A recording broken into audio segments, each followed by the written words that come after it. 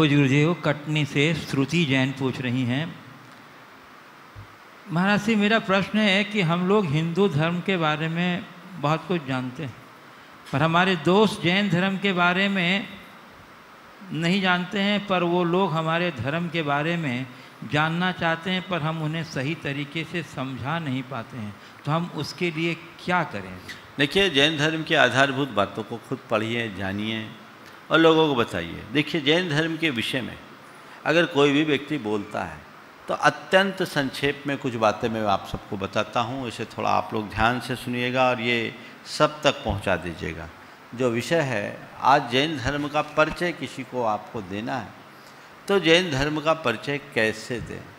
तो सबसे पहले जैन धर्म भारत का एक प्राचीनतम धर्म है और ये एक ऐसा धर्म है जो आत्मवादी धर्म है, जिस धर्म में ईश्वर के कर्तृत्व की कोई मान्यता नहीं है, जैन धर्म के अनुसार हर आत्मा ही परमात्मा है, अप्पा सो परमप्पा।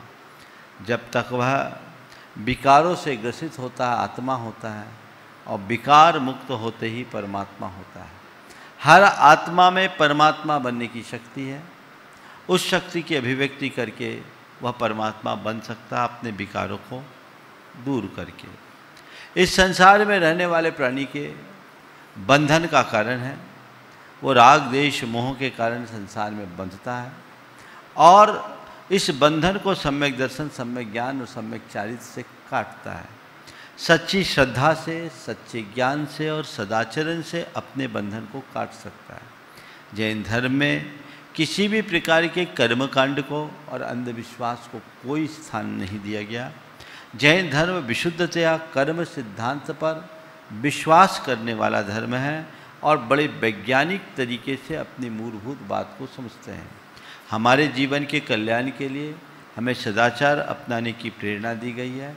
अहिंसा, सत्य, अचौर, ब्रह्मचर्य और अपरिग्रह रूप पाँच व्रतों का पालन जैन धर्म का मूल तत्व है। जो व्यक्ति इन व्रतों का जितने स्तर पर पालन करता है, वो उतना ज़्यादा सुखी होता है। इसी प्रकार जैन जीवन शैली में हमारे खान पान पर बहुत ज़्यादा ध्यान दिया गया है। खान पान की शुद्धि होनी चाहिए, सात्विकता के साथ शाकाहार को अपनाना चाहिए। रात्रि भोजन का त्याग जैनों की पहचान है और प्रत्येक कार्य में सावधानी रखनी चाहिए। जैनों के यहाँ दया और करुणा का पालन इस रीत से होता है कि सब्ज़ी के भी यदि टुकड़े करने हों तो ये नहीं कहा जाता कि सब्ज़ी काटो, कहा जाता सब्ज़ी सुधारो या सब्ज़ी बनारो।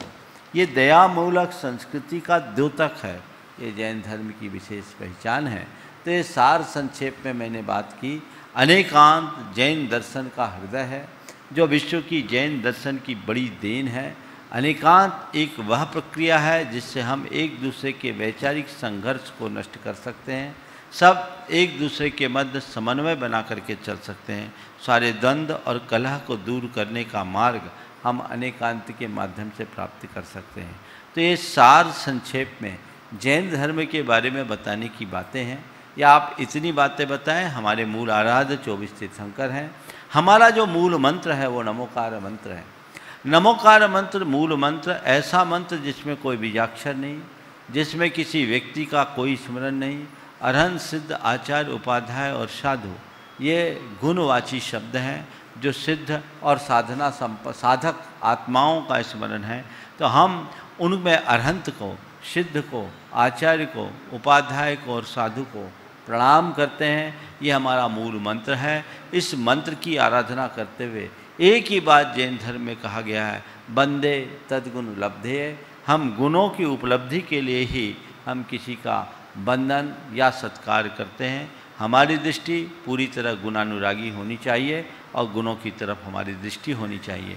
ये जैन धर्म की विशेष पहचान है। जैन धर्म में जन्मना कर्म व्यवस्था न मानकर, वर्ण व्यवस्था न मानकर, कर्मना वर्ण व्यवस्था मानी गई है। और ये कहा गया है, मनुष्य जन्म से नहीं कर्म से महान बनता है।